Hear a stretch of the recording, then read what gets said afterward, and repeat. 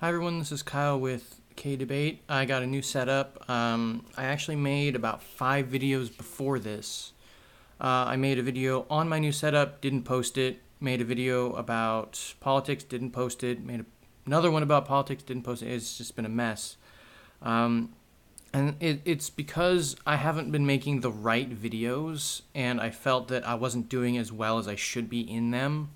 Uh, they were it's not that they were gimmicky and it wasn't that the content wasn't good. It's just the content wasn't what I wanted it to be. It wasn't this is this is something new. I got everything new. I wanted to start something better. I didn't want to just keep doing the same thing. So this video is going to be uh, something very very important to me. More important, not not necessarily more important than being kind to other people or being understood or, or um, just all those things that I've done, those were big as well. But this is, I, I need to make a video explaining myself. And I wanted to make this video, for, I, have made similar videos in the past, but they weren't as, intri- not intricate, they, they weren't as all encompassing as this video is going to be. And I had a lot of problems. I tried making a video on White Lies um, a couple days ago, and it turned into this giant history thing for my life, and it was a complete tangent, and it wasn't on. and then I ended up not posting the video because of it. I need to get that out of my system. I need to explain to you guys who I am and why I'm doing this more so than I have in the past. So this video is going to be a as complete explanation of what I'm trying, why I am doing what I'm doing, why I am motivated. Because I've said in the past small tidbits of, you know, I'm trying to make up for my past and I'm trying to make the world a better place because my personal experiences have been bad and I don't want other people to suffer because of these bad things. And it's the empathy that I have for people. Um, so this this video is it's going to be hopefully it, it can be that finally getting it out because I haven't ever. I mean, I've talked to my friends about it. They understand my situation, but I've never put it in a video. I've never, well, I've tried to in the past. And every single time I get messed up and I end up deleting the video. And I need to stop doing that. I need to get it out there so people understand because that is the biggest thing is understanding. And if you guys understand, maybe you'll be able to take what I say with more with, with just knowing where it's coming from more, knowing why I'm doing this more.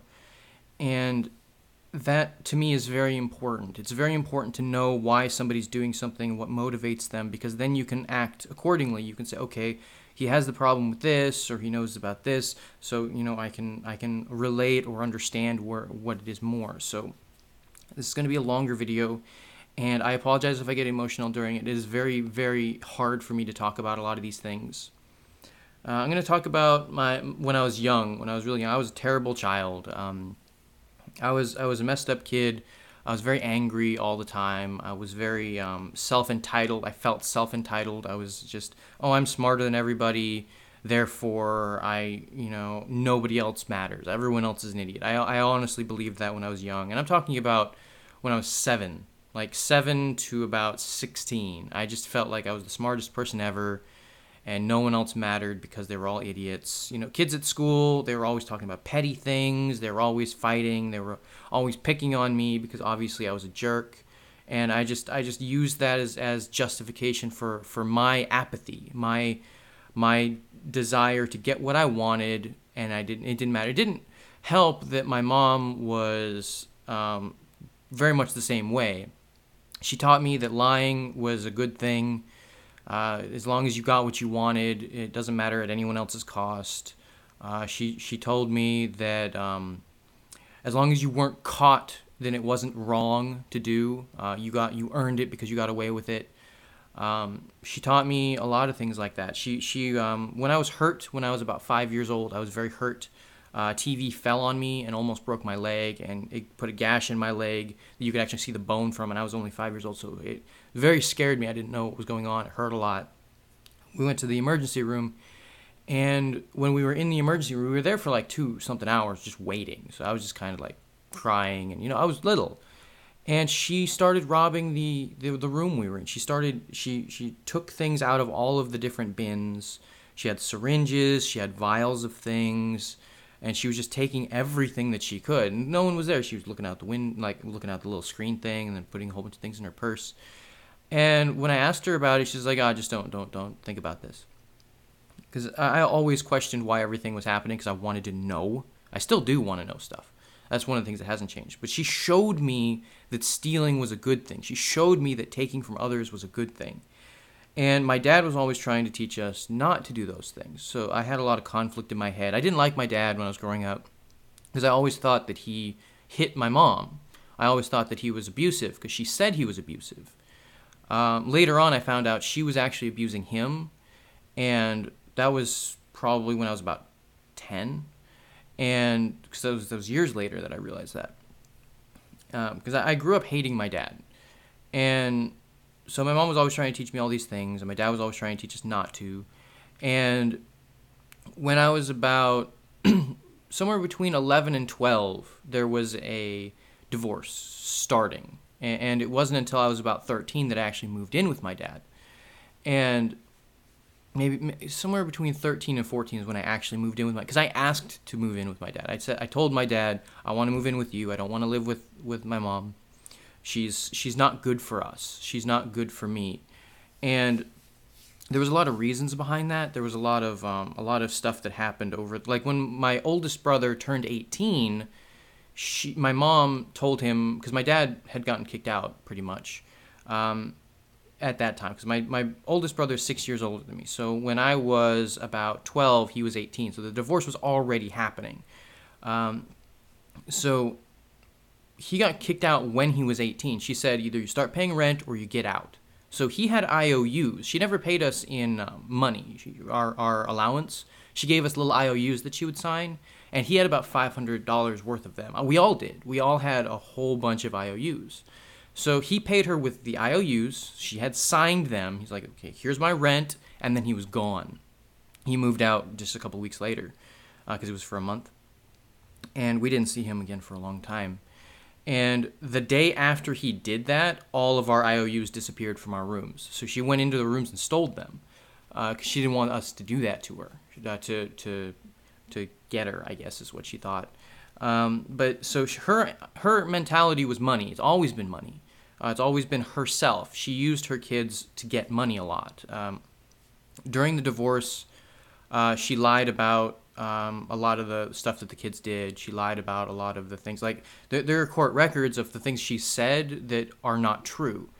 And one of the things was that our dad was never there uh, and that he just he he was never ever there. He lived with us. He did. He got kicked out a lot and would come back a couple months later when he apologized for whatever he did.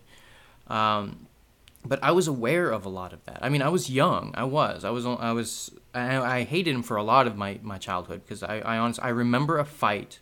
I couldn't see the fight, and I heard somebody get hit. And it was actually I thought it was my dad hitting my mom, It was actually my mom hitting my dad. And I didn't know that for a long time because I was little and I didn't ask. I was afraid to ask. Uh, it wasn't until years later that my mom actually said that she was the one that hit him because she was mad at him.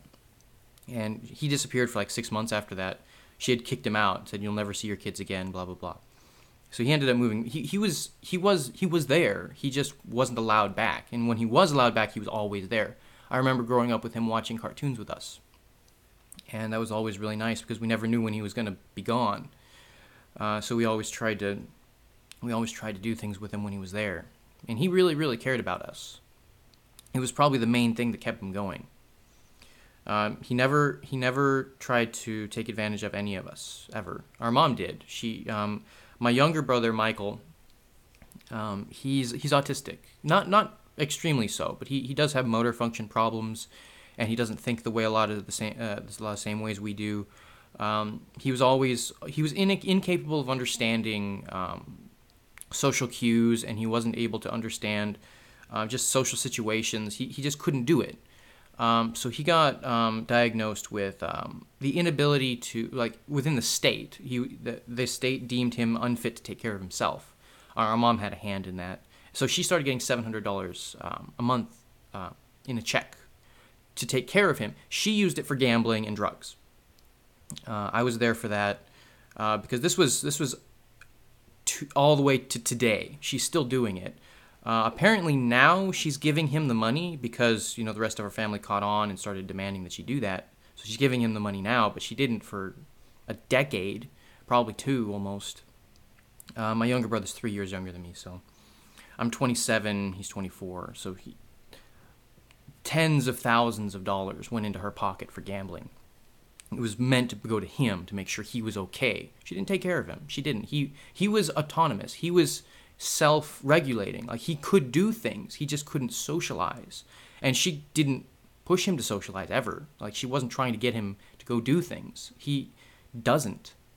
He he has no active response to any of that stuff. So he just never did it. He is completely non-socialized. So he's when you when you think of an autistic person who doesn't have a grasp on reality, like a lot of people say, oh, they're they're either self-aggrandizing or they're just completely awkward in everything. He's a very awkward person. He's not self-aggrandizing, even though he is very smart, because he, his most of his most of his issues are in social and, and motor control. He's a, he's a very kind person. He always has been, because he's incapable of understanding why people would do bad things, which is another reason why our mom was able to manipulate him so much. Um, so he, he's not socialized. That's one of the most important things is to is to help them understand and learn. And she didn't do that. She pretty much just left him do his own thing. So that's another thing, reason why I dislike her. Uh, I do dislike her a lot. And a lot of people say, "Oh, you shouldn't hate your mother." So you don't know my mom. You don't know the horrible things she's done. Um, she uh, and this is this is I, I know this is a lot about my mom, but this is the start. This is the start of a lot of my problems. This is like therapy. but um, I've done this a hundred times, a thousand, hundred thousand times in my head, really every day that I've had a bad day. Um, I've, I've thought about the darker times in my past, and it, not always that moment, but it's always been sometime in my past. Cause, you know, it's not the future. I can't be sad about the future, but there's just a lot of things that I need to I need to explain. I was taught that being bad was good, pretty much and I was shown all of these examples of how being bad can benefit you. You can get money if you lie to the government. You can get money if you lie about situations you're in. My mom still, my dad owes my mom over $200,000 in child support. He's not allowed to leave the country. He's he all of his checks, 50% just taken out. Like he, I think he's gotten it reassessed recently. But there he's never going to pay that off, which means he can never leave the country because he's a flight risk. His dream was someday to retire and then travel the world. That was his dream. It's gone now. He'll never be able to do it because my mom wanted money from him. I don't think my parents ever should have gotten married. I don't think they ever should have had any kids. My oldest brother is awesome. Justin, he's awesome. He he he's completely capable. He's self like he got out of it before the divorce. And he I don't think I, I do believe it affected him. I, I believe it affected all of us. But he got stronger because of it. He got like he's had some bad relationships, but he never let all of this stuff mess up his relationships. Most of them were just incompatibility issues, or I don't know exactly what happened in, in his relationships, but I know that he was he was healthy, he was happy, he was capable. He has a very good job, he has very good ha- hobbies. He mountain climbs or rock climbs anyway. Like he he's into board games. He has a board game night with a whole bunch of his friends all the time. He's really good at socializing. He's a very good person. He's kind.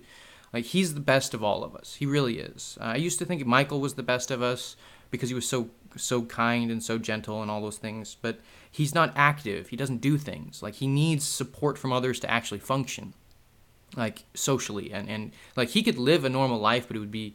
I don't know if he would be happy without like somebody there with him making sure that he was um, socializing, which is again what my mom didn't do.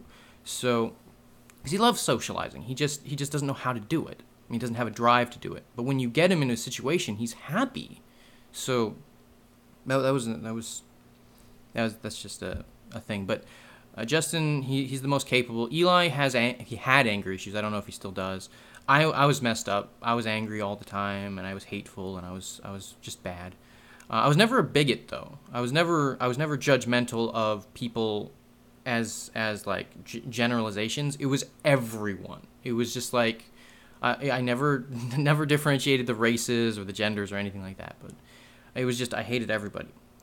But um, as, as time went on, as the divorce happened, and I realized that my dad was just not the abuser, um, I started to understand the situation better, and I started asking a lot of questions about this, and I learned a lot about it from both sides. They they lied like my mom lied about every single thing she ever did to today. That's why I don't talk to her anymore. But my dad, he had his own problems. He has his own you know stuff going on. He's old. Um, and he has his own way of doing things, and I can respect that. I don't necessarily agree with it, but I can respect it. And um, there, there's there's other things in, in, that situation when I was living with my dad that also caused problems. But that was because I had problems, and I have to deal with that. But um, when when things started coming out, to, and my mom actually got custody of me when the divorce happened, she got custody of all of the kids. Sorry, I just hit one of my wires. She had custody of all of us even though I had asked to move in with my dad. Afterwards, she said she didn't want to have custody of me because I was so problematic. I would always question things that she did. I would always question why she was doing things because I knew something was wrong. And I knew she was lying about a lot, a lot of stuff. I just didn't know what it was or to the extent of it. So I would always question stuff. So any after the court thing, they went back into court and said, "You know what? I don't want Kyle. Dad wants Kyle. Just give him custody instead. So that happened. So I ended up moving in with my dad. Otherwise, I would have been moving in with my mom. And my older brother Eli said I was abandoning my family and all those things because I wanted to. I wanted to get away from that and move in with my dad. I wasn't taking care of my younger brother, stuff like that. I, I that bothered me a lot at the time, but uh, eventually, I don't know if it was true or if he was just angry or whatever. Because we were all angry. We were all messed up. Um, but after that, um, things quieted down. My dad had nothing. He had a job that paid him minimum wage with 50% cut out and taxed. He was making less than $3 an hour. Um, so we did have food. We didn't have food a lot of the time. We didn't have we didn't have electricity. Uh, we did have running water, but a lot of the times we didn't have um, like we we used propane to, to as our heat source. So so it got cold sometimes, and we didn't have a we didn't have any AC or anything. Like we were in a mobile home that was like 70. Well, it was only I think 60 years old at the time. It's 70 something now, but it, it wasn't hooked up to the grid. The only thing it was hooked up to was running water. So our electricity came from a generator that we could not run very often, and our heating came from propane tanks, and we couldn't always afford those. So uh, also our food supplies were very very limited. We ate a lot of canned foods. Uh, and I the mo- most of the time I ate was at school, and that was my dad was always very adamant about me going to school. I was I was um, I was what was what's the word? I was put into school like the same week I moved in with him. So I was in school enrolled. That's it. I was enrolled in school the same week I moved in with him, and my mom just didn't care. She forgot how old I was. She forgot to enroll me in school once. Like I was a year late going to school because she forgot to en- enroll me. She also didn't know how old I was. Um, uh, she she missed my tenth birthday by like a year almost. Uh, it was it was only a couple months, but it was like you're ten now. It's like no, I'm not. I was I turned ten like six months ago, and she's like, oh no, you're not. So she it was, it was I hated that, but it's she just didn't care. She was she was on drugs a lot. Uh, she she drank a lot. She smoked. My dad drank a lot too, but he, he ended up getting sober after the divorce. Um, my mom, I don't know if she ever did stop um, doing those things, but when I was there, she didn't. She, she I, have never seen her not be um, messed up by st- by something. Um, I do know she smokes a lot. I'm actually surprised she's still alive. Uh, she smoked a lot, but my dad still smokes too. So it's just all of that stuff growing. I grew up around drugs. I grew up around a lot of drinking. Both my parents were alcoholics when I was young, and it, there was a lot of lying. There was a lot of um, there was a lot of just bad stuff, and I that's one of the reasons why I refuse to drink. I refuse to smoke. I refuse to do drugs, is I've seen the effects of it and I don't like it. I, I really, really don't like it. And I can, that's another reason why I'm uncomfortable around people that drink excessively. Uh, I, I don't mind the idea of people drinking to relax or the idea of people to drinking to socialize. When somebody is drunk, I become very uncomfortable because I grew up with that and it was, it was never good. It always turned into fights. It always turned into screaming and breaking things and yelling and it was just never good. So I, ha- I have that as well. That's another problem I have. But again, I don't mind the idea of people doing it to socialize or to relax. It's a very different kind of thing to me. Um, it took me a long time to figure that out, but you know, to differentiate the two. But um, that's just another thing that I have. So uh, uh, uh, the next thing was after the divorce. Um, I moved in with my dad. We didn't have a lot of money. We didn't have a lot of anything, but I did. He made sure that I ate he made sure that I was, you know, trying to do things. And I was still bitter and I was still angry and, until I was about 17. Uh, at, at, 16, uh, I remember uh, somewhere between 15 and 16, I went to visit my, my mom's side of the family again, where my brothers were and all those things. So there was a big, pretty big gap. Because she moved to Arizona, she got remarried six months after the divorce and moved to Arizona. She just disappeared for a long time. We didn't get to see my brothers for a really long time. So I ended up going to visit them. It might have been uh, 14 when I visited, but the big thing happened when they moved back. Uh, I did visit them for about a couple months in Arizona. There was nothing there. They never did anything. It was literally the middle of nowhere. But when they, they, they went bust, they lost all their money because they tried something stupid and had to move back. They moved back with their with my mom's sister in their pool house. All of them were living in a pool house that was not fit for two people. Maybe two people if you were really like friendly, but there's only one room. Like literally, it was a pool house. It was one room and a bathroom, and that was it. So, you know, no privacy whatsoever. And they had four people in it. So, and half of the main room was a bed. It was it was not good. But when they moved back and we were able to visit again, uh, I went camping with them. Uh, I was about 16. I went camping with them, and I think I'd already already done some messed up stuff with my dad because I was like I was angry and I was just messing with everything. But I remember I remember getting my dad really mad at me, and then I went went camping with my mom, and they kicked me out when we were camping. Um, I said something uh, along the lines of "Stop frauding the government." We were in the middle of camping, like no one was around. Um, my brothers were there, and her husband was there, and we were all talking about something. And I said it offhand, like a joke you know, because she she said she was a good person. Like pretty, she always self-aggrandized, and I hated it. But and I was always questioning her on on these things. But we were camping, we were having a good time, uh, sort of. And I I made an offhand comment about, well, yeah, you you you're not a good you you fraud the government. And she's like, what? And it became a really big thing. And then her husband kicked me out of the camper. They had a camper they were renting or something. I don't remember, but yeah, because it was a long time ago. I, I don't think they were renting. I think they just had it. I don't remember where they got it. So that's the thing is I don't remember where they got a lot of these things because I I wasn't there when they got them, so I don't know the origins of them, and I only saw it for a little while. But uh, we were in the camper. I said this thing. They started yelling at me. They kicked me out, and they said, "Find your own way home," and that's not ours. So they they said, "Go to Dad's house. Uh, we don't want to see you again." We were in the middle of nowhere. I'm pretty sure it was called Fisherman's Retreat. I'm pretty sure that's where we were. And you could Google that.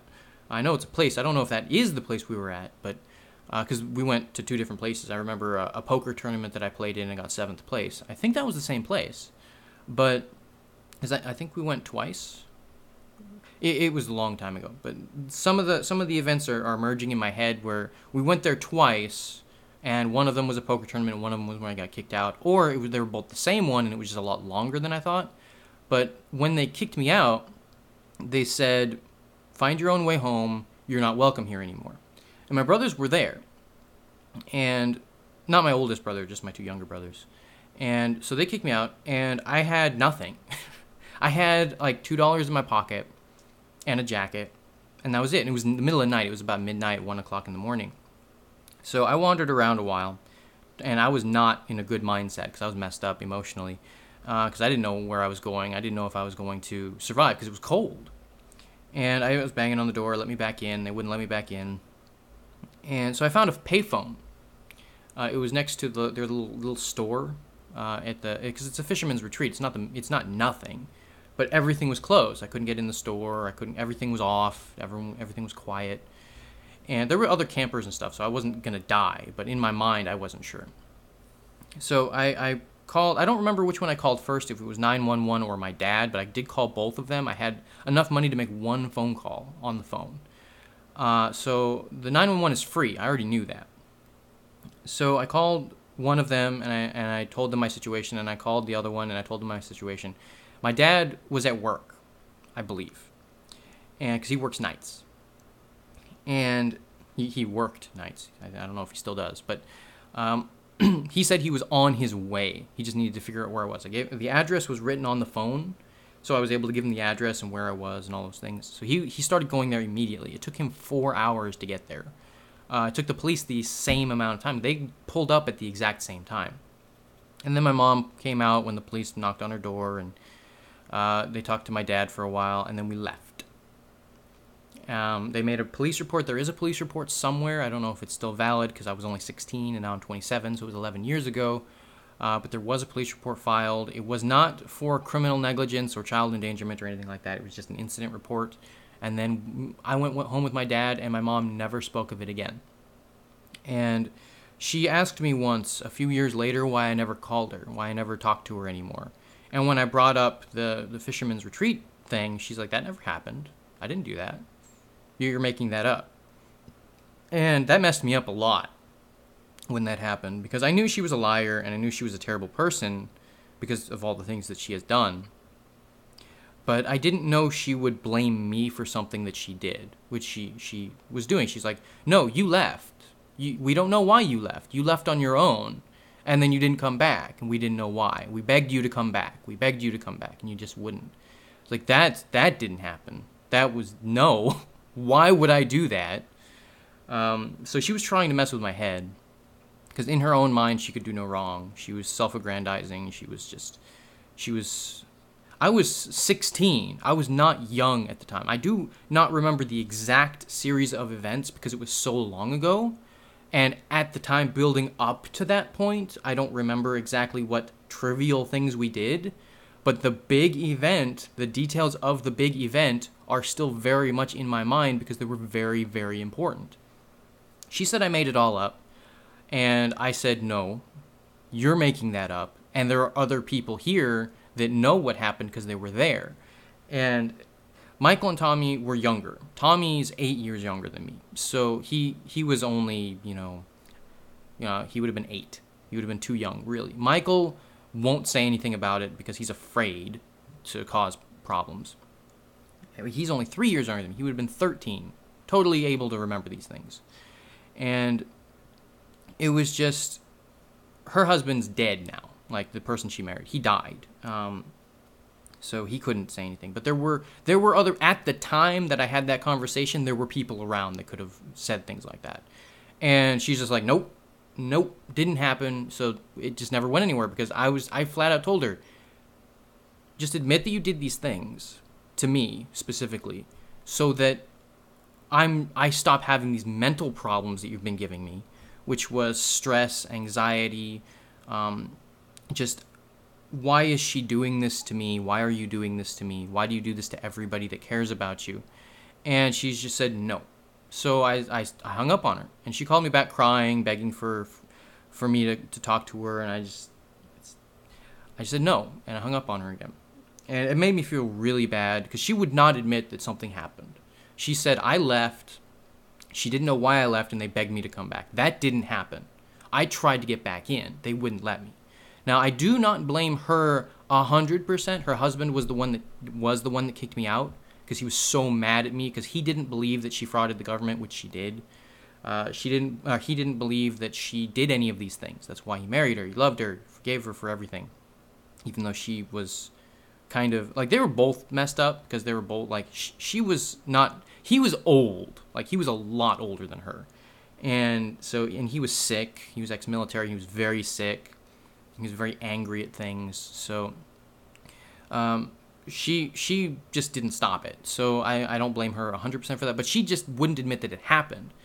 I can't move past something that somebody just deflects and blames you for. It's like, um, oh, you ate the the last sandwich or whatever, and it's like, no, you did. It's like, no, you did, and it's it's times that by a trillion, saying I didn't kick you out and make you feel like you might die, uh, make you feel unloved in every respect, disown you. They actually said, you know, find your own way home and not ours. Um, they said that when I was getting kicked out and they wouldn't let me back in. And they they said that no, I left. So that messed me up a lot because like did that really happen? No, it didn't. I had to really really think about it because they kept telling me I was wrong and I was like, well, why would they lie to me? And then I remembered that she lied about everything to make sure that nothing she did was ever wrong. It took me a long time to understand that. And it hurts a lot to think about because, you know, just admitting that, people are going to say, "Oh, well, maybe you are wrong." It's like I I lived it, and I know that the mind can play tricks on you. I know that it does with her a lot. She's completely delusional about a lot of things. But um, I was I was younger, and I wasn't uh, sure about things, and it, it hurt a lot, especially in the midst of a lot of emotion, emotional turmoil. Um, but her her response to me because I've always criticized her defrauding of the government, which she did several times. She's still doing it, actually. Um, she, she's been on food stamps for over 24 years.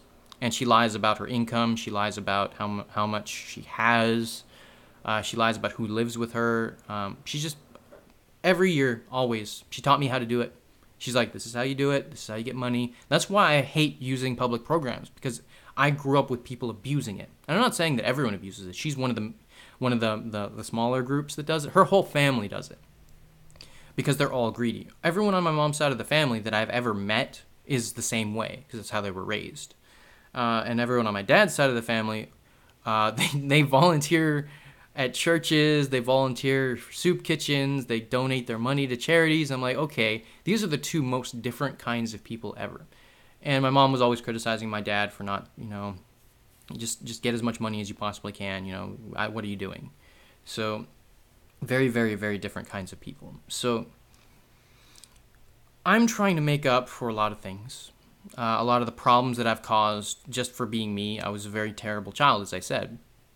And growing up, I learned a lot of things, and I started to understand that you know my place in the world isn't as big uh, as I as I thought, because I used to self-aggrandize as well. And it wasn't until I was 17, a year after I got kicked out of my um, my mom's cabin place, pretty much, uh, I started to really understand that my dad cared.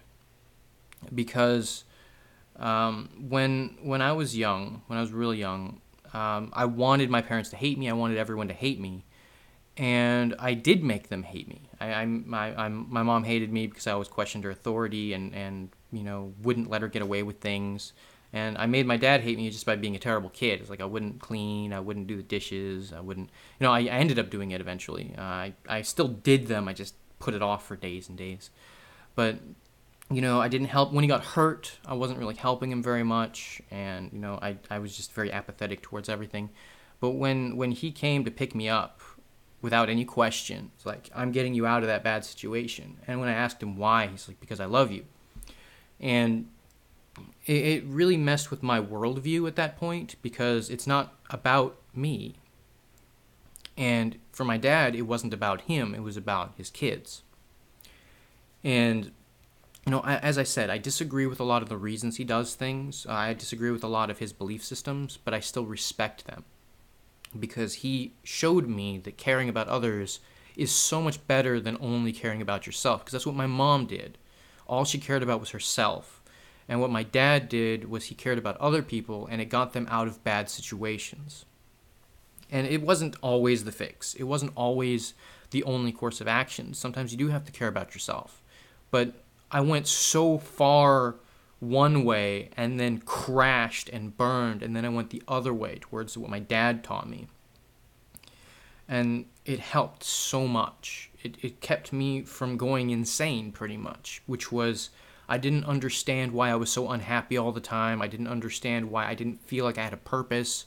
Like I was just hurting everything around me and then I was just going to die. Like I didn't care. And when he when he showed me that caring about others is really you know valuable, then I started trying to do that. And it was hard at first because I wanted to be the same way as I always was. I, I tried reaching out to people and they would bite my hand pretty much. Uh, happened with my older brother a few times because he did have anger issues. He didn't trust me because I was, as I said, a terrible child. I was a terrible person. So when I tried actually reaching out and helping other people around my family, it backfired and made me regress a little bit. And then I tried again and I regressed a little bit. And then I started helping my friends and I started helping other people. And it, it made me feel like I had a purpose. It made me feel like I wasn't so so evil. I wasn't so bad. I wasn't so petty. Uh, because I was all of those things. And it helped me get out of that a lot. So I do respect my dad for that a lot, for helping me understand that there are things outside of my own mind that I need to, to value. Um, outside of myself that I need to value. So I, I grew up with a lot of problems. I still have a lot of problems. I'll never get over them. I'm actually, after this, I'm going to make a video that I'm not going to post. Uh, I'm going to put it privately, and it's going to be a video to my mom because I need to. This is this is the two videos that I wanted to make. I wanted to make this video explaining to you guys who I am and why I have these things and why I have these thoughts and why why I am so desperately trying to help people but also conflicted on how to do it is in my mind, I am always torn between self um, self promotion, self self um, gain, and selflessness. Is every I want to be selfless. I want to be kind. I want to be generous. I want to give my entire life to others. And I'm not effective at it. I'm not good at it. And I feel that the only way to be good at it is to self aggrandize or self promote. But every time I think of self promoting, I think of all of the horrible things that came with it. All of the all of the sadness and depression and borderline insanity that I, I was facing every day growing up. So I have this major problem is I want to help people, but I don't have the, the broadness of, of skill sets to be able to do it well without self promotion. And I can't self promote. I can't do those things. It hurts me very much. And I've said that before, I just never explained why. I was taught that you are that you yourself focus on number 1. Don't care about anything else. I was taught that, and I believed it for a while. And it made me so sad all the time. I was I cried myself to sleep all the time. I was depressed all the time. I was angry. I, I, I wanted people to just just cater to me and it was just it was bad. It never made me feel like i had any value at all. Like moments of fleeting superiority maybe. Yes definitely probably. I don't know. Just, it was this it was the thoughts of an insane child. A self-righteous idiot. But i can't i can't do those things anymore. It it makes me have flashbacks to all of the things that i used to believe like if I just do this, I'll get more views. No, I can't do that. And so I'm trying to get you guys to understand why I'm not doing those things. Why I, I don't just bring up clickbait or, or mess with my titles or edit my videos to make myself look better. And I hate that. I hate all of those thoughts because they come up constantly. It's like, if I just did this, I'd, I'd reach more people and I'd help more people. But where do I draw the line? Where do I stop doing it to be more popular and, and help more people without also doing it to help myself. And it's a line that I have a really hard problem with because I know logically I can help more people if I just do that. But at the same time, it's it doesn't it's it's it's wrong to me. It's wrong and I can't stop thinking that. So I have a lot of problems with that. And there's there's a lot of other stories I could be talking about but most of those are just sob stories at this point. They're just, oh, woe is me, you know, I had this bad childhood.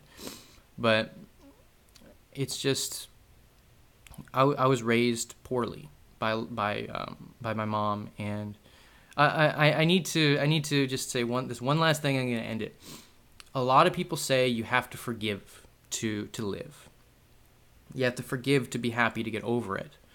Um, I disagree.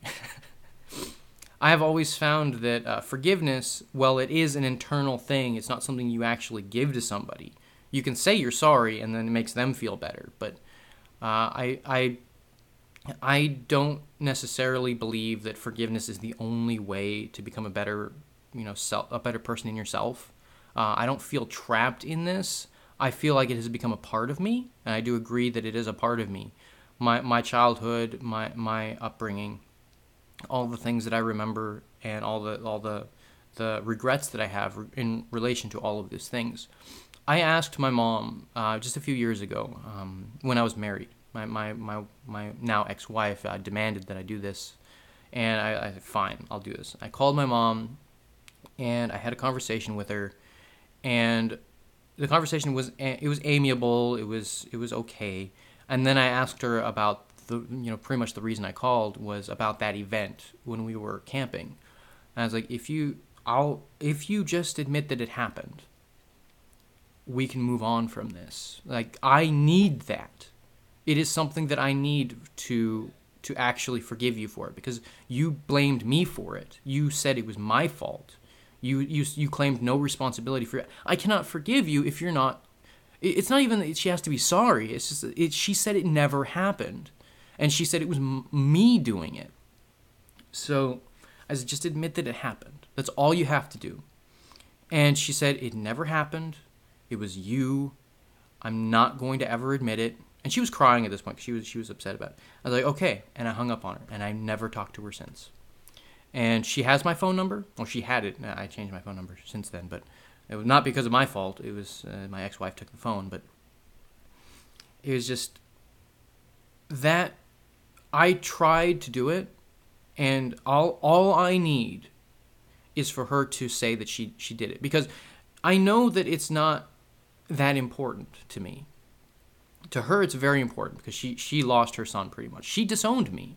She flat out disowned me. So and she's saying she never did, and that she doesn't know why I don't call her anymore. Um, but there there's this big issue with that for me. It's honesty and and she's never been honest with me at all. I can never believe that she says anything. Like, had she admitted it, I could say, okay, this is a step towards her becoming a better person, or her, you know, maybe she changed, maybe she's not that bad person that I remember growing up. She's she's always been that bad person, and it hurts me a lot to to say that because I want her to be a better person. I want her to be the kind of person that I can look up to and you know call her mom and call her um, you know, to call her sometimes on the phone, um, just to talk. I can't do that because that will always be there because it's not just a single moment in time for me anymore. Every every anxiety attack, every panic attack I had, wondering if it was my fault, wondering if I did misremember it somehow, that I was somehow going insane and making memories up. My mind is where I live. It is what I am. I can't understand that it would be so so malevolent towards me and she told me that it was that I was making things up to make things worse in my world around me and I, she was lying. She's still lying and she won't admit it. So my next video is going to be me talking to her and I'm going to send that video to her in some way. I'm going to grab the link. It's going to be private. None of you are going to see it uh, unless somebody leaks it. I don't know who would do that but um, it's not that big of an important thing anyway, but I'm going to send it to her, and it's going to be me asking her one more time. And it's going to have other things in it too, but um, it's not going to be a happy video. It's not going to be a good video. And uh, I, I, need to do that one more time. I'm 27 years old.